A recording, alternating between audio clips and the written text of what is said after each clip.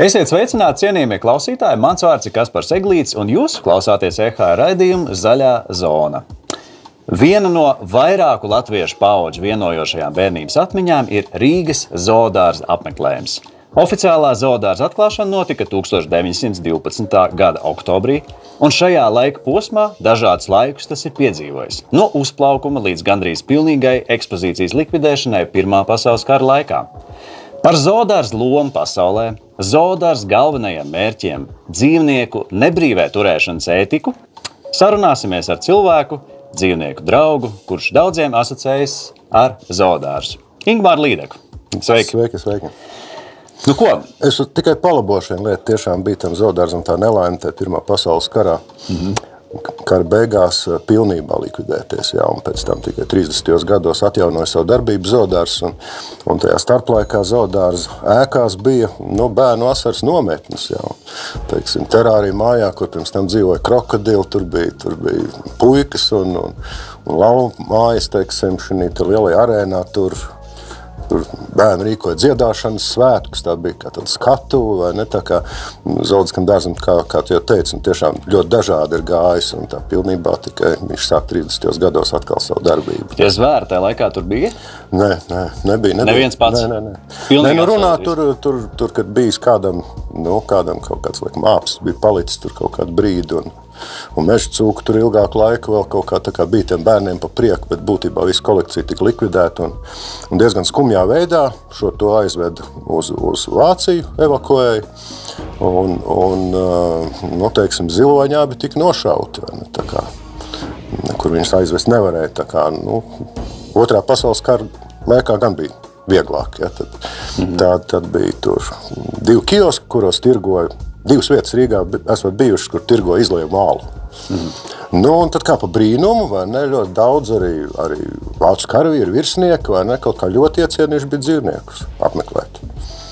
Zaudārs vienmēr ir bijis uh, tik liels, kāds viņš ir Jā. tagad, ja tā teritorija ir nu, mainījusies. Tā, tā, tā liederīgā teritorija, tie 16,5 hektāri, kas, kas bija tie, joprojām ir, ir nā, nācis neliels gabaliņš klāt, kurš gan netiek īsti izmantot zaudārs, teiksim, attīstībā, jo pa vidu servitūta ceļš un vienkārši tīri tehniski to izmantot nevar.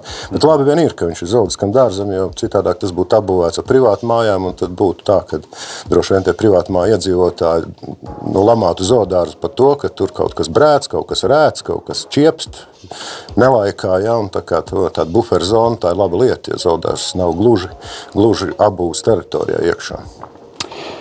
Šodien zoodārza loma Kāda tā ir? Vai priekšplānā tas ir tāds, nu, sauksim to par augstāku mērķi, par saglabāšanu, par izglītošanu, vai tomēr tur vienlaikus mijās arī tā fotografēšanās ar tur, nezinu, tīģerīti vai, vai izjādēm? Kas ir tas galvenais? Nu, redz, nē, nu, trīs galvenie mērķi ir vidas izglītība, sugu saglabāšana, protams, un rekreācija. Tātad pilnvērtīgi veselīga apgūta.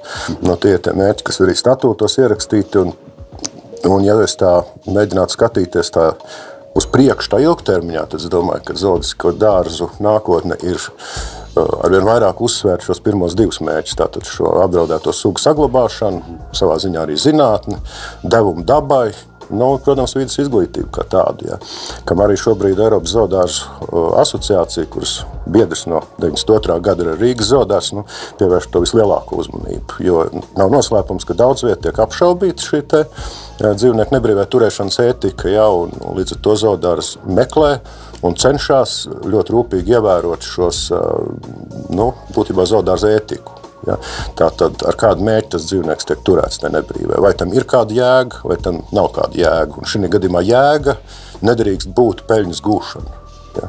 Tā tad zaudējums primārais. Pasaulē tas tā ir. Jā, nu, dažviet pasaulē tas tā ir. Un tepat braucot uz Lietuvu, tur arī ir šie, te, šīs zvērnīcas būtībā viena otra, kur cilvēki atved mājās fotografiju ar mazu tīģerēnu, tur klēpīja tīģerēni. Nu, šie cilvēki pajautājuši, pajautājuši tai zodārs, saucamā zodārs vadībai, kas notiek to tīģerēni, ka viņš izaug liels.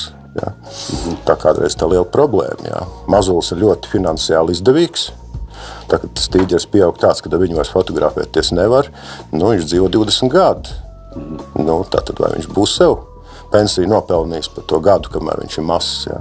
Tā ir tāda ļoti kutelīga lieta, vai ne teiksim, šāda eksploatācija. Tāpat arī es cieši nevaru šos te, mm, zodārus, kuros ļauj arī privātie mazie zodāri, kur, kur tiek dota tā tūta ar tām tiem kombikormiem vai burkāniem vai ko, lai, lai barotiem dzīvniekiem nu, no rokas. Ja. Pirmkārt, nu, bērnam tomēr jāsaprot, ir kaut kāda distance no dzīvnieka. Ja. Mm -hmm. nu, tas ir viņa paša drošība. Ja, ja, ja viņš saprot, ka do, katram dzīvniekam var iet klāt un kaut ko dot un, un glaudīt, ne, tad viņš to mēģinās darīt ar jebkuru sastapto dzīvnieku. Un tur tās bēdīgas beigas var sanākt. Ja? Un otrs, nu, tomēr katram dzīvniekam normālā zoodārzā ir izstrādāta barības norma, kas viņam jāpēd, lai viņš neaptaukotos, lai viņš nedabūtu kaut kādu aknu cirozi vai ko citu. Ja? Un līdz ar to nu, nevar izkontrolēt, cik tie bērni vai tie pieaugušie tur iedod vai, vai cik tiek burkāni kamielim, cik tiek ezelītam, ja tu ieejas, tur iedod to tūtu ar to barību. Ja? Nu, tas patiesībā ir nehumāni pret dzīvnieku, un ja tu gribi, lai tas dzīvnieks dzīvo garu, pilnvērtīgu mūžu, tad uh, šādas lietas normāls zoologiskais dārzs neatļausies. Ja? Un kas, jāsaka, tas gan varētu būt finansiāli būt izdevīgi, ja? pārdot tur pa 3 eiro, tur divus burkānus, vai ne? Nu, tur kaut kāda peļņa, vai ne? Bet tā peļņa pēc tam aiziet pērkot tās zāles tiem dzīvniekiem un, un patiesībā pērkot arī jaunus dzīvniekus. Bet es saprotu, Rīgas jau zooloģiskajā dārzā cilvēki arī paši vēl aizvien turpina nest kaut kādas lietas, un tā ir tāda mūžīgā cīņa. Laikam. Jā, tā ir mūžīgā cīņa, un, un tāpēc es par to arī šeit runāju. Ar katru šādu sarunu, ko cilvēki izdzird, vai ne, ar katru šo argumentāciju, kāpēc to nevajadzētu darīt, nu, samazinās jau tas uh, skaits jā, cilvēku, kas, kas uh, brien par rožu dobēm un kas uh, baro dzīvniekus ar kaut kādu līdzpaņemto barību. Jo, jo daudz cilvēki bijuši arī citu valstu zoodārzos. Mm -hmm. un, un, uh, viņi redz, ka tur ar to nedrīkst darīt. Nu, protams, ka tu esi ciemos, nu, nezinu, Berlīnas zoodārzā, ja, nu, tu pieņem to kārtību, kāda tur ir, bez kaut kādas īpašas tur, nezinu, apelēšanas pie kaut kādām mēs gribu, un tā ir foršāk, vai man patīk. Ja? Un tu tur ievēro to disciplīnu, jo tu nezini, kādas tev būs sekas. Ja? Nu, šeit atbrauc uz šejieni un domā, pagaidi, nu, Berlīnē nedrīkstēja barot, Vīnē nedrīkstēja barot, ne?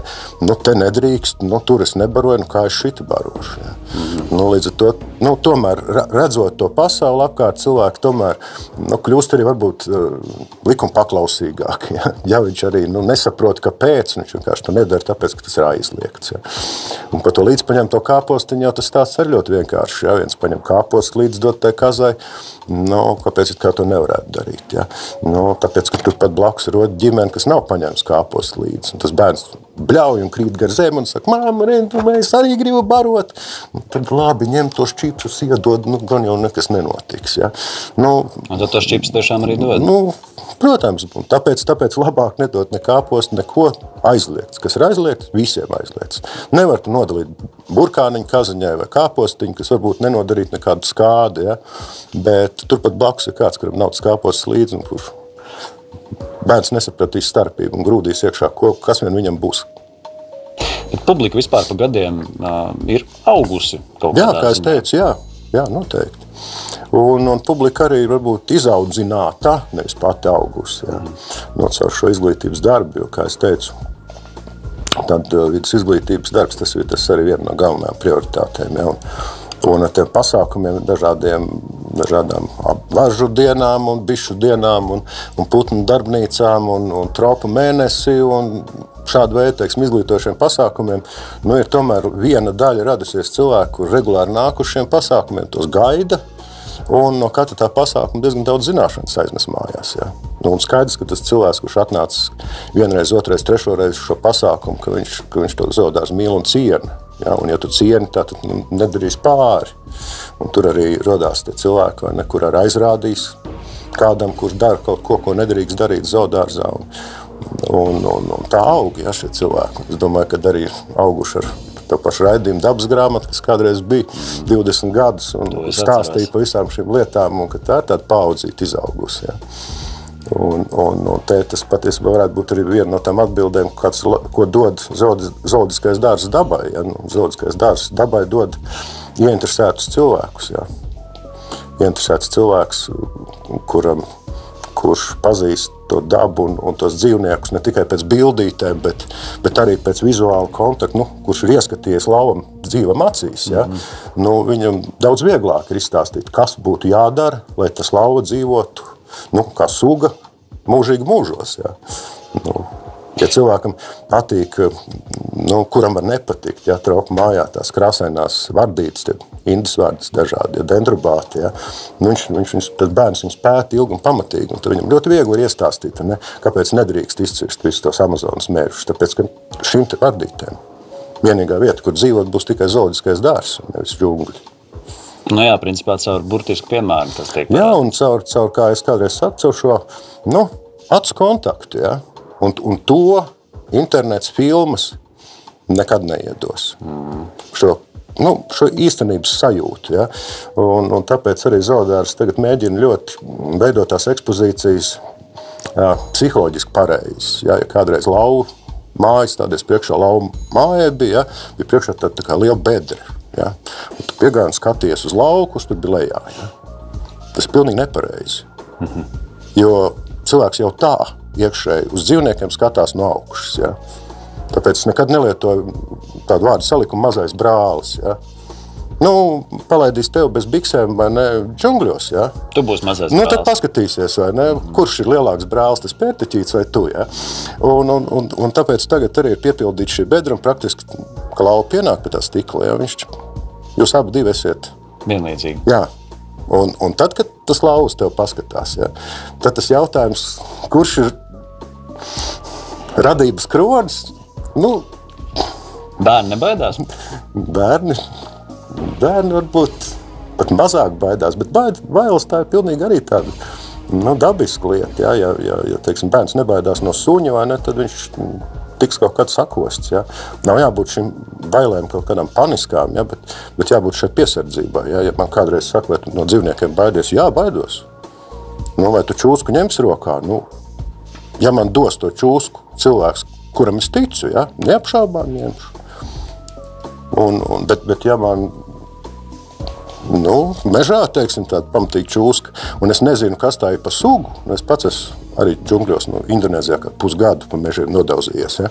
ja es nezinu, kas tā ir pa čūsku, viņa ir indīga, nav indīga, kā viņa uzvedās, nu, labāk es viņu nofilmēju no attāluma, nevis mēģinu tur viņu rokās ņemt. Ja? Un, un tāpēc es te sēžu. Nevis guļu kaut kur jau.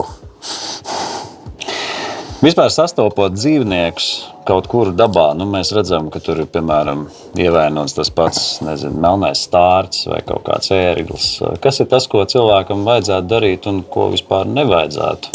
Nu, Pirmkārt, ir, ir jānovērtē pareizi, adekvāta situācija. Jo, jo, jo ir bijuši gadījumi, kur, kur cilvēki nepārprotami domāja, ka melnais stārķis ir jānes, jāved uz zoodisko dārzu. Ja? Mhm. Bet, ja bija nogāzusies ligzda un bija pie ligzdas zemē, nu, stārķi jaunulis, ja? vēl lidot neprotošs. Ja? Nu, it kā situācija tāda nepārprotama, nu, jāglābj. Ja? Bet patiesībā tie vecāki to mazo baroja. Viņš nekur nebija jānes. Protams, viņi varēja arī, nu, nezinu, varēja lapsas noplēst, varbūt. Ja? Varbūt. Ja? Bet, bet tikpat labi viņš varēja arī izdzīvot. Ja? Bet, ja šis stāsts būtu, stāķēns būtu ar laustu kāju, ja kaut kā nedabisku izgrieztu spārnu, ja, ir nepārprotami redzams, ka viņš nekad nelidos. Ja. Mm -hmm. nu, būtībā tad dzīvniekam jāmēģina palīdzēt. Tad viņš ir pirmām kārtām jāzvan uz dabas aizsardzības pārvaldu vai zoodisko dārzu nu, jāprasa konsultācija, varbūt kaut kāda papildus informācija. Nu, Nofotografēt, bildīt, aizsūtīt. Nu, vai tā, teikt, jā, vai tā bēda, jā, nu, vai tā bēda ir tik liela, vai nav tā bēda tik liela, jo kādreiz cilvēks atrod.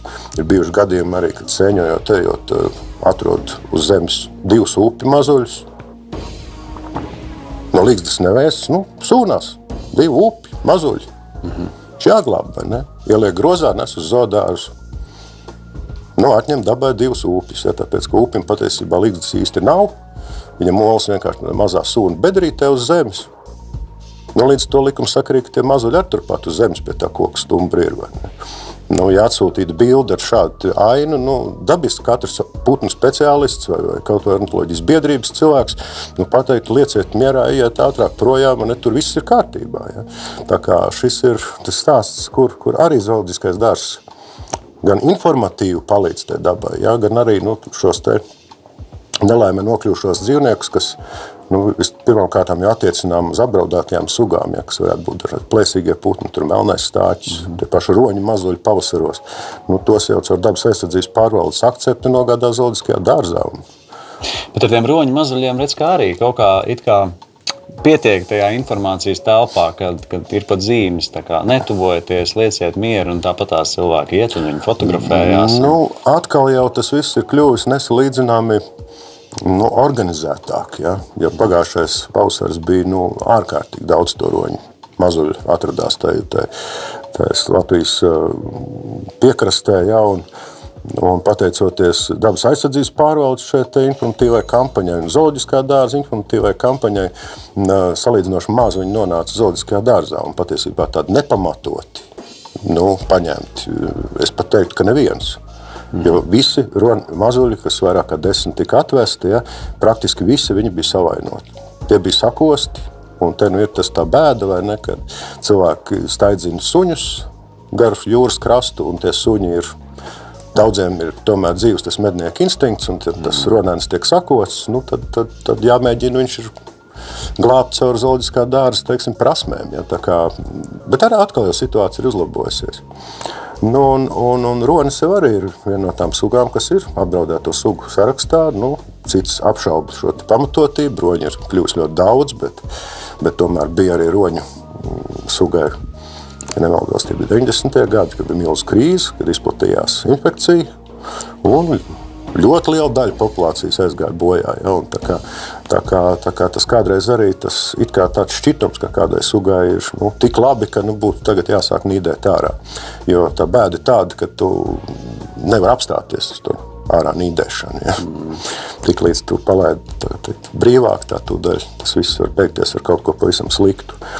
Nu, un, un, uh, Zoodārzam jau arī, protams, globālā ziņa arī ir ļoti liela liela nozīme dabas aizsardzībā, jo raugi Rīgas zoodārzā no 400 apmēram dzīvnieku sugām, kad 108, 110 apmēram ir eh, pasaules sarkanajā grāmatā. Ja? Nu, Tātad skaidrs, ka dabā viņām neklājas viegli. Ja? Mm -hmm. nu, nu, ap 80 sugas eh, ir tādas, ar kurām nu, speciāli tiek strādāts, kur Rīgas zoodiskais dārsts starptautiskos sugu saglabāšanas projektos iesaistīts. Ja, tātad gan, gan apdraudēto sugu saglabāšanas programma, gan cilts grāmatas. Ja. Nu, tātad tur šie dzīvnieki visi tiek, tiek ļoti sekots arī viņa ģenētikai. Ja, tātad zoodārzi saistīti ar savu informatīvo sistēmu. Ja, tātad praktiski par visiem dzīvniekiem visi rada raksti, visi zinām. Un, un, un mums arī tagad divi jauni tīģeri atvesti ir, viens no Francijas, viens no Vācijas. Laikam. Un, un tur arī ir pa viņiem visi zināms, centās paudzēs. Un galvenais ir jāsako, lai nebūtu turadniecība, jāskatās, lai, lai paliktu teiksim, šī nebrīvas populācija nu, pilnvērtīga. Ja. Jo nezinu, kurā brīdī nu, varētu būt šī nepieciešamība vai patiesībā iespēja atlaist šos dzīvniekus uh, atpakaļ dabā. Ja. Nu, tā, piemēram, mums kādi trīs tādi veiksmīgi pēdējā laika projekti zoodārzam ir. Viens ir mūsu lūši, piemēram, ja. šeit dzimušie brauc uz Poliju. Speciāla programma ir, kā atjaunot Polijā lūšus. Nu, šie lūši tiek mm, turēti ļoti lielā plokā, nu, mežā, meža vidū, ļoti lielā plokā, kur, kur nu, būtībā aplokā ir vairākas uh, izējas, ja, kur ir, kur ir nu, stieņa attālums, ja tāds, ka pieaudzis dzīvnieks nevar iziet ārā, mm -hmm. bet e, jaunuļi var iziet ārā. Nu, un tad būtībā šie lūši tiek vairoti, nu, un jaunuļi pamazām, pamazām aiziet dabā. Ja. Nu, mūs, mūs pie desmit laikam lūši ir aizbraukuši uz, uz Poliju, ja, tad, lai ražotu pēcnācējus, kur dzīvo Polijas dabā. Nu, tas, es domāju, arī svētīga lieta. Mēs lūšus medījām, ja, tur, tur mēģinām izkaut kādu griezt dabā. Teikt, es nesen manīju, ka, ir, ka tiek vākta paraksts par eh, medību aizliekšanu Latvijā. Nu, tā, tā mums būtu ļoti gara un atsevišķa saruna droši vien. Ja. Es esmu par medniekiem, pret nesaprātīgu medīšanu, un man tā sajūta ir tāda, ka nu, šādās ziemās, kāda, kādas bija teiksim, pagājušā ziema, ja, nu, tiem mūžiem barības ļoti daudz. Un tā viņu vairošanās veiksme ļoti liela. Un līdz ar to kaut kādu nodevu varbūt, kad varētu no tā meža paņemt. Nu, līdzīgi ar vilkiem. Ja. Vilkus atkal Skandināvi mēģina uzlabot savu populāciju. Tur vilki ir, nu, ir bet viņi ir radušies no tikai pāris, nu, nedaudz atnākušiem no Krievijas visticamākais tur. Vilkiem, nu, lai izvairītos no tūradniecības, uzlabot asini, ja, tad tiek atkal vairoti vilki un mazuļi likt iekšā vilku migās pie pie to vilku mazuļiem. Mm -hmm. Jo nu, skaitīt vilks īsti neprot. Ja. Nu, un atkal jau mūsu vilki brauc pat Kalvenē dzimušie vilki. Ja, mūsu ārpilsētas filiālē brauc uz, brauc uz Skandināviju, ja, ražo pēcnācējs, ja, kur, kur tiek nu, teiksim, tā šī gadījumā ielikti Skandināvijas dabā. Ja. Nu, trešais, pēdējais, tas atkal veiksmīgākais, tas tipisks arī priekš zoologiskiem dārziem, ka mums šeit divi Latvijā izauguši zoodārzā melnie grifi, mhm. tika, tika paņemti nu, zaļo Balkānu saucamajā projektā. Ja, tad viņi tika aizvest uz Balkānu kalniem, Bulgāriju un nu, speciāli iebrojot kādu brīdi atlaista dabā, un pēc tam vēl raidītājiem sekoja viņu, viņu gaitām, viņu pirmo ziemu.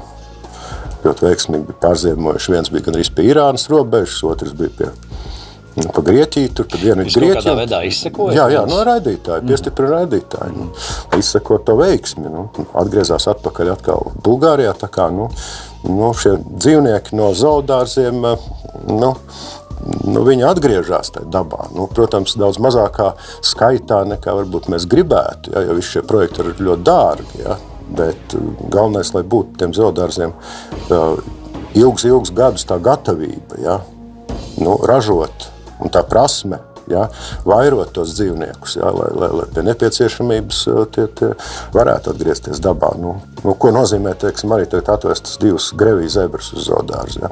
Re, nu, retākā zebra suga. Mm -hmm. nu, viņas dabā ir paliktas nu, pēc dažādiem aplēsēm, nu, teiksim, tā kā 2800, nu, varbūt 3000, ja, kas priekš sugas ir ļoti maz. Ja.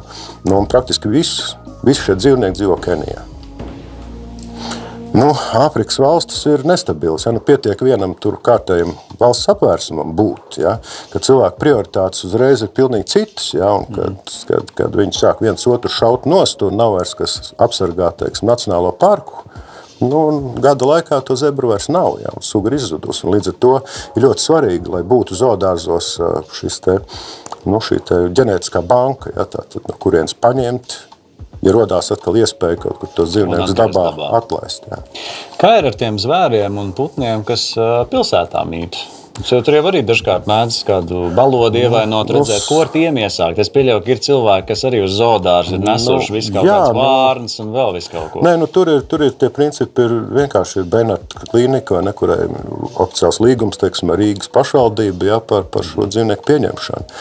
Un ja viņi tur redz, ja viņiem rokās nonāk kāds dzīvnieks, kuram ir perspektīva, Ja? Nu, tad, tad arī varbūt viņš nonāk pēc tam zaudēskajā dārzā. Ja? Jo šeit es runāju par perspektīvu tādā ziņā, ka nu, kāja ar laustu spārnu, ja? nu, viņi nekad vairs pa īstu kāju nepaliks. Mm -hmm. nu, viņi varēs uzlidot, nu, nezinu, laktā, ja, varbūt. Bet nu, viņi nevarēs uh, katru vakaru lidot teiksim, no, no babītes uz getliņiem. Ja, babītē nakšņot getliņos uh, izgāzt vai paēst. Jā. Viņi vienkārši to fiziski vairs nespēs. Jā. Un tad tur sakarīgākais ir viņu humanā veidā iemidzināt. Jā.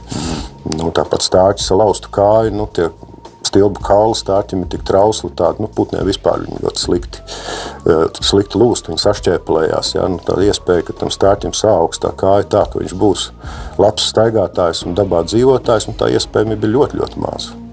Tā kā šeit ir varbūt vishumānākais kādreiz nevis to vārnu turēt būrītī, ja, kur viņai visu nodilst pret zemi, staigājot, teiksim, visa aste vai nekā nelidojošā. Ja.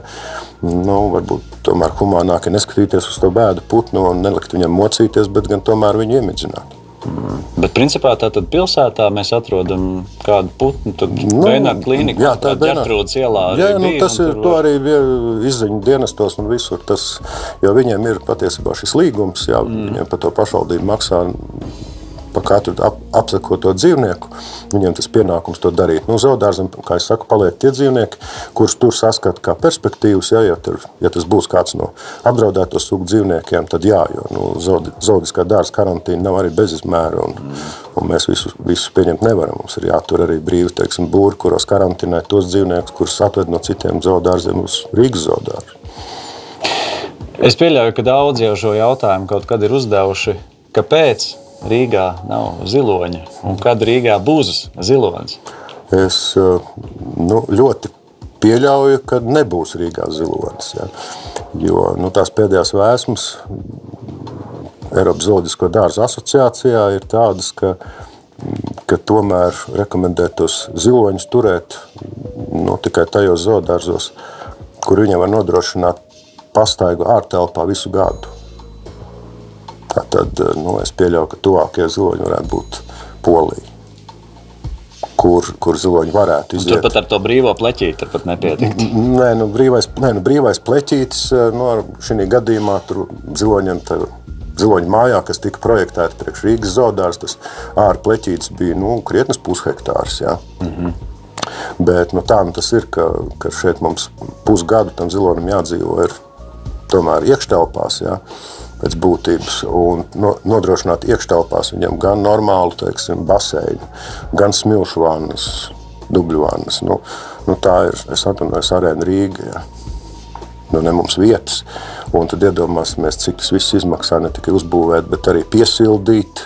Mm -hmm. jā, iztīrīt un tam līdzīgi. Es domāju, ka nu, pie tā apmeklētāja daudzuma, kas ir šobrīd mums, jā, tie 300 tūkstoši, nu, mēs nevaram atļauties ziloni. Tiešām nevaram.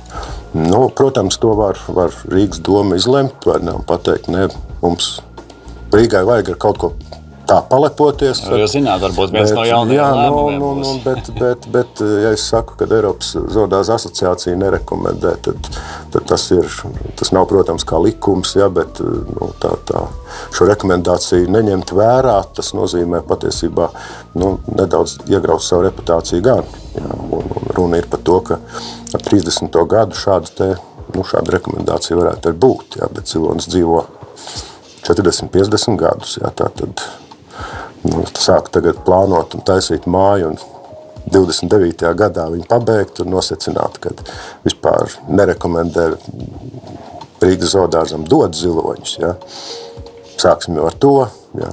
jo katrs zoodārs tomēr ļoti rūpīgi skatās, uz kuriem dod savus dzīvniekus, ja, kuri pie viņiem dzimuši. Rīgas zoodārs ļoti rūpīgi skatās un, Un ļoti reti tie gadījumi, kad tie dzīvnieki nonāk kādos privātos zoodārzos. Un, un, un es ceru, ka praktiski nav tādu gadījumu, kad viņi nonāk kaut kādā dzīvnieku tirgu. Mm -hmm.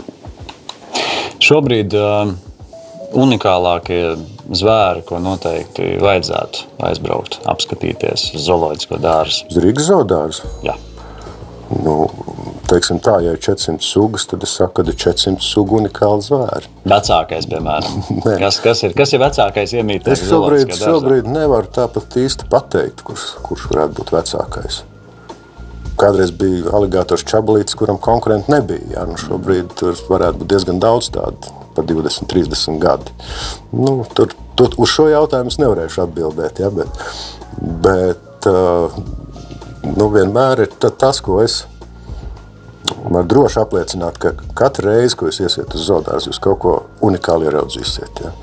Es arī, nu, būtībā, vedot zoodārzu tagad no Facebook, šos jaunumus, ja, nu, arī, nu, paņem to kameru un filmēt, teiksim, grevīzēbras, ja, mm -hmm. pa ceļam, oh, zemes vāveres, nu, tādu cirku taisa, kad, kad vai prieks. Ja. Tad, kad man vajag tās zemes vāveres, pa viņām kaut ko uztaisīt, nu, Viņš nekā nedara. Ja?